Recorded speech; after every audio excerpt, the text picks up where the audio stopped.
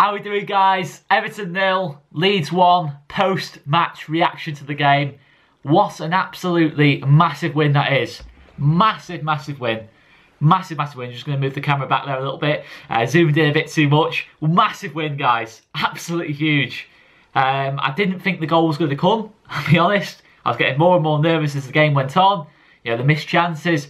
But the goal came because of an absolutely top quality moment of magic from Raphinha. Our Brazilian steps up, like I would think he will do several times this season and several times in his Leeds career, and gave us the match winning moment. It was a top quality moment of individual quality, and he won us the game. It was enough to win us the game at the end of the day. And it wasn't just a smash and grab win for Leeds United today. It was a dominant performance. It should have been more than 1 0 for me. You know, really, I think the gap between the two teams over the 90 minutes was bigger than one goal. I thought we were absolutely outstanding today. That's a simple first thing I've got to talk about. Let's go on to the lineups in this game. Obviously, we went, we went with what looked like a 4-1-4-1 kind of system.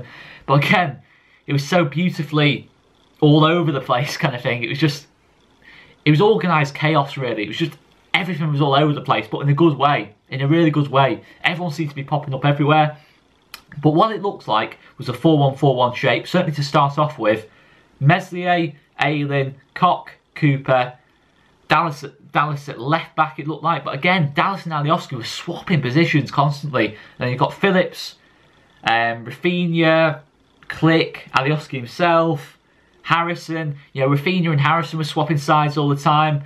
Bamford up top. You know, everyone was all over the place, but in a really good way. You know, everyone was picking up all sorts of positions, and it was just so, it was so flexible, and just everyone was everywhere, and it was just fantastic. It felt like we had an extra man on the pitch today, really we just the, the energy levels. Yeah, we didn't make a substitution until sort of seven, eight minutes to go, and that summed up our energy levels today. Yeah, we, I think we could have played another 90 minutes to be honest at that kind of intensity because we were just absolutely outstanding today. And the boys left nothing out on that pitch because they were just absolutely outstanding. You know, they gave that absolutely everything they got, and they got they they got what they deserved today, absolutely 100%. They 100% deserved that three points today. They deserved it on Sunday.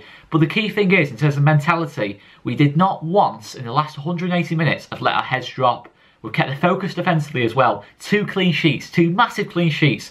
Calvert-Lewin, Aubameyang, James, Pepe, Willian, all these players we've kept quiet. Richarlison, all these players we've kept quiet now for 180 minutes is outstanding. Is outstanding. The fact that we never once let our heads drop after we missed the chances. We, you know, when we missed one chance, we lost our focus defensively. That never happened. Know, that shows a massive improvement for me in that side of our game. You know, we saw against Leicester, Bamford missed that chance in the first minute, Leicester go up the other end of the pitch and they score. We didn't let that happen today. We didn't let that focus go again. Yeah, we did not let that happen at all. You know, I said against Arsenal, we never let the game go from minute 1 to 90. Today, once again, we never once let that game go. We were in complete control throughout. You know, it was played on our terms throughout. We were forcing let Everton to play long balls forwards. You know, it's not Everton's game that. Everton don't do that. You know, don't try and just play the ball long into Calvert-Lewin. They try and play out the back and some nice, tidy football because that's what Everton's do under Carlo Ancelotti. You know, he's a, Carlo Ancelotti encourages excellent football. That's every team he goes to, he encourages good football. He's showing Everton going forward, excellent. But today we made Everton look average, and that's great credit to us.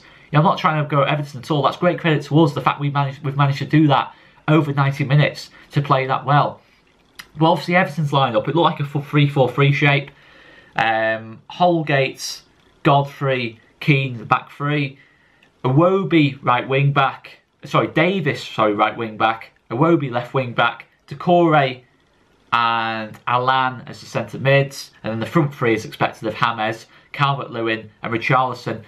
And yeah, you know, I think Allan was probably their most notable player, to be fair. I think he really did catch the eye from moment to moment. You know, he really took the ball well. And he's not really stereotypical kind of stuff you see from Allan. You know, he's more of a midfield destroyer. He likes to break attacks down, but he was starting a lot of them today. You know, he was probably Everton's most creative player in that sense we did a top quality job in, in terms of the rest of the team. You know, I think um, James, Calvert-Lewin, Richarlison, I thought we kept largely quiet today. You know, I know Calvert-Lewin's had a couple of little chances, but it's going to happen. You know, when you're playing against this kind of quality, it's going to happen from time to time. But over the 90 minutes, we've done a top quality job on them for me. You know, we kept them really well restricted um, to, you know, shots from distance and quite low quality chances. But for me in that first half, we've had four or five really, really good opportunities. You know, Harrison's had one through on goal. He's put wide. Harrison's hit the par.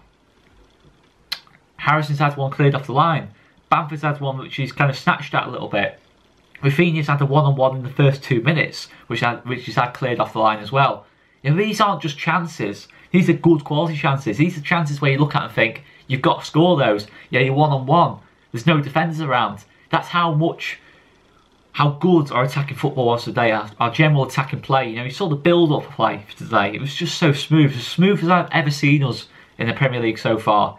In terms of one touch, two touch, we didn't lose the ball. We kept the ball really well. I'm not sure what the stats were today. I think it's over 20 shots again we've had today. Top quality performance. And ultimately, it was a 1-0 hammering. You know, second half.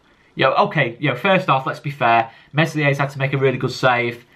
And he's actually, well, two really good saves. One off Doucouré, one off Calvert-Lewin. There's that many chances in this game, guys. I'm trying to remember them all. But, yeah, one off Doucouré, one off Calvert-Lewin, two really good saves, to be fair, off um, Illan Meslier. And he steps up at the big moments. Because that's what the great goalkeepers do. They step up at the big moments. They don't make save after save after save and then concede goals. They step up, they keep clean sheets, they make keep the concentration levels up, they're off the line, they stop trouble before it occurs, and that's what Meslier does perfectly. There was another occasion in that first half when Calvert-Lewin had, had beaten um, Robin Koch in the in a foot race, and Meslier's there across, nice and composed, and he stops it becoming a situation before it was one, and it's just outstanding, outstanding, you know, Meslier's performance today.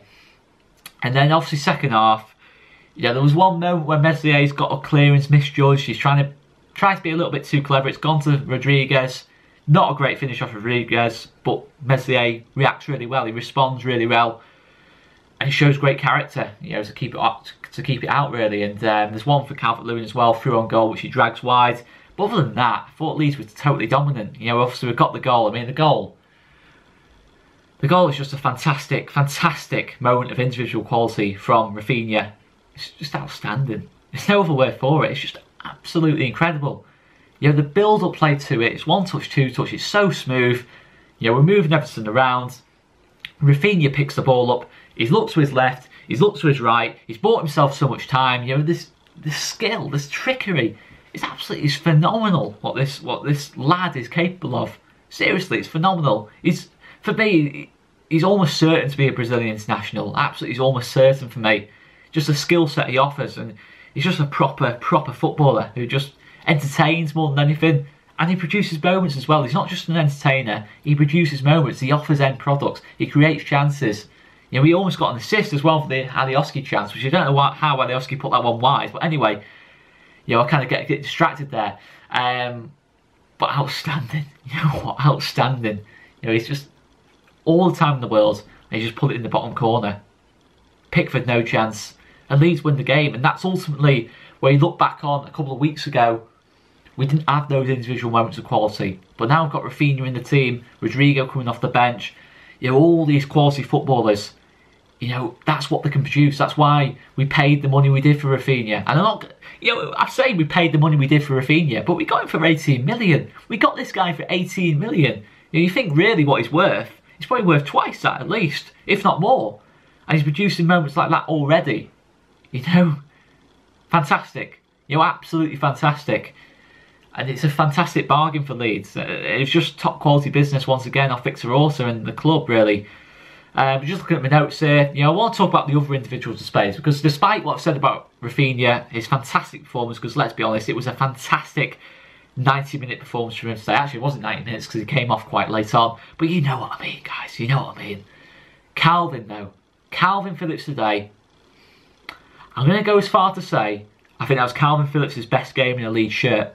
I genuinely do. I genuinely think out of all the fantastic games Kalvin Phillips has had under Marcelo Bielsa and for this football club, I think that one was the peak. I think that's his best one so far.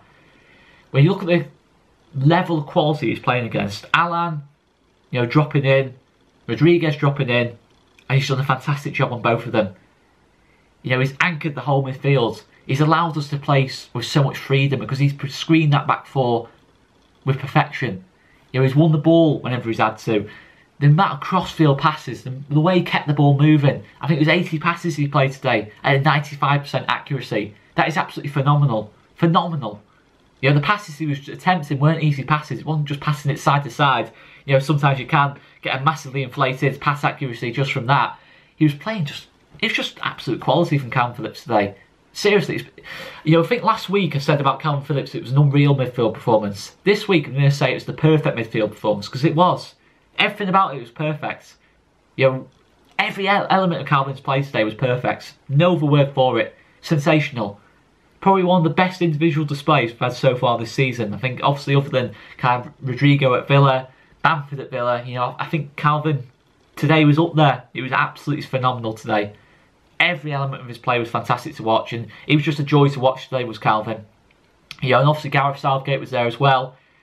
If Gareth Southgate is not impressed by that, then he will never be impressed by Kalvin Phillips. Seriously, because he was that good today. Seriously, it was just top level. It was a world class performance, if I'm being honest.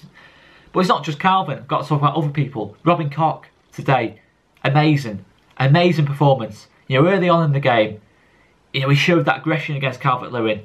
You know, he, know, he literally just shoved Calvert Lewin over. And you show that aggression early on in the game, you know, because we know how Calvert Lewin plays. He's a top quality player. He's a top quality player as Calvert Lewin. He just showed that aggression. He showed he wasn't going to get bullied in the air, on the ground. He was not going to let Calvert Lewin bully him. It's just that little psychological battle, and Robin Koch won it for me today. You know, he recovered really well. I just thought it was a really composed, top quality performance against one of the best attacking units in the league. You know, he was absolutely outstanding today. Mateusz Klich once again, outstanding today. Outstanding today. Just had one just wide. Jack Harrison, outstanding today. Some top top quality first touches, making things happen. Lovely little through balls. Should have probably scored in the game. Bamford was brilliant as well. It was just an all-round brilliant performance. Meslier, Meslier, absolutely outstanding as well. Just all rounds, just serious top quality from Leeds United today. Top, top quality. You know, the press, the press was absolutely spot on. You know, I said before, that game was played on our terms throughout once again. Like we did against Arsenal, we made Everton uncomfortable. We didn't allow them to play out the back, lumping the ball forward because they had to. They had to do that because our press was so good. They knew they could not play through us. And when they tried to, we won the ball back and we launched counter-attacking opportunities from that. It was a really top quality performance with and without the ball. And arguably one of our best of the whole season. You know, and you could even make a case for it being our best, you know, in terms of the quality of opposition we played today. And we just completely outplayed them for 90 minutes pretty much. You know, because this isn't a bad Everton team. This is an Everton team that maybe might even push for the top four. Certainly top six.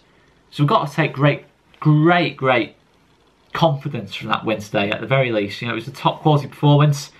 And yeah, you know, I think just the performance as a whole, you know, to have seven or eight chances to score Yes, Everton had a couple themselves. Everton probably will feel they should have scored. We should have scored more as well. Really, really should have scored more as well. And you know, maybe you know in the comments, some people you know will say that, and fair enough, will say that our finishing's been poor the last couple of games because it has. But for me, when we continue to play like that, the results will continue to come. We're 11th in the table right now, but realistically, from those first 10 games, if you're asking me, have we been better than 11th so far this season? Resounding yes. Resounding yes. We've gone to Anfield and we've held our own. We've been very unlucky not to get anything but for a penalty. Man City, Ederson's pulled off some absolutely unbelievable saves. We've played really well. Villa away, the 3 0 win. Could have won by more. Arsenal dominated pretty much from minute 1 to minute 90. Everton today dominated from minute 1 to 90. You know, that's five performances out of the 10 against top quality teams where we've been absolutely outstanding here. Yeah, okay, we've lost a couple of games. We've lost a couple of games. But we've, we've 90, 95% of moments in games we're being well in control. That's what we've shown. We've shown top quality. We've shown a real adaptation to this league. And I think defensively, I don't think it's getting enough credit, the fact we've kept two clean sheets and all these worries about us defensively. No. We've not really adjusted anything. Just personnel. Just key players coming back into the team. Kalvin's coming back into the team. Robin Koch's back on top form. Nothing else has really changed. You're obviously Raphinha's come in, but I don't think from a defensive point of view that's made that big a difference. You know, it's just outstanding. What a time to be a Leeds fan, guys. What a time to be a Leeds fan, you know. I think, yeah, you know, I mean, it's just stunning. I mean, I'm stunned how well we played today. We were just absolutely phenomenal today. It was a phenomenal minute 1 to minute 90 performance. I, am absolutely staggered by how good we are. You know how good we are as a team. I, I'm actually out. I'm lost for words now. I've seriously lost words. But for me, man the match, I've got to say Kalvin. But you honestly could have four or five players today. You could possibly have the whole team today because it was a team display today. You know, Everton tried to make a couple of changes, tried to go more attacking, but it just left us more space and it led to us creating more chances. And it was just a fantastic performance. Not even mention the fact that we should have had a penalty as well, you know, in the game. Really blatant handball.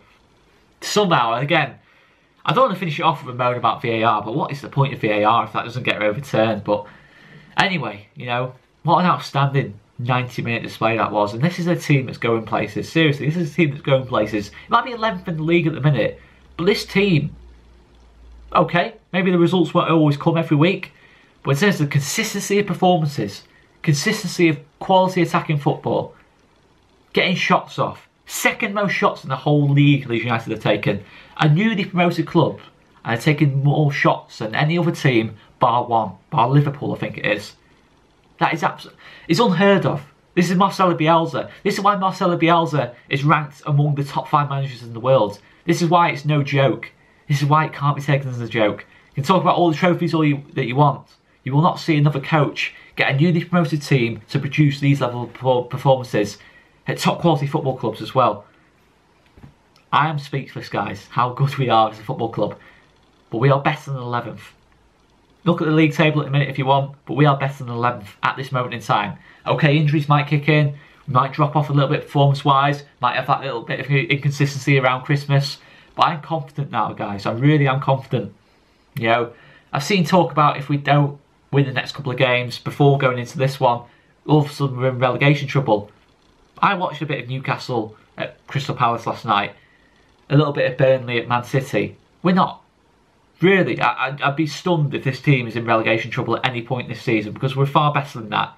We've got top quality at the top end of the pitch. Yeah, okay, last couple of games we haven't converted chances, but I think over the season our chance conversion's been a lot better. A lot, lot better than last season. I think especially Paddy Bamford missed a couple last couple of games, but his chance conversion's been a lot, lot better. A lot, lot better. Seven goals in his first ten. And it sums it up. Raphinha's just got his first. Rodrigo's still got minutes to get in, into this team. We've still got Diego Llorente to come in as well. Exciting times. Exciting times. But make sure you check out Joe's post-match. And uh, watch along every video we've done this week before the whistle blows as well. Of course, some big games coming up tomorrow. But we have got player ratings, our live player ratings coming up. Whether that's going to be before or after this video uploads, I don't know. But make sure you check that out as well. Live player ratings, me and Joe. You guys are going to give you your opinions as well. Leave in the comments down below your opinions on this one. Were these outstanding? Were they as good as what I've said they were today? Because that was one of our best performances under Marcelo Bielsa against a top quality team. Kalvin's best game for me. I want to hear your comments on that as well, guys. Make sure you like the video and subscribe because we've got plenty more content coming up on All TV. We're pushing for 20k. Like the video, subscribe, help the channel because we love producing content for you guys. And it's been an absolute pleasure today because that was a top quality, vintage Marcelo Bielsa Leeds United performance. I'm going to leave it there, guys. Everton nil, Leeds United 1, and Leeds United are back moving up the table. Back to back clean sheets, four points out of six, and that will do very nicely. See you later, guys.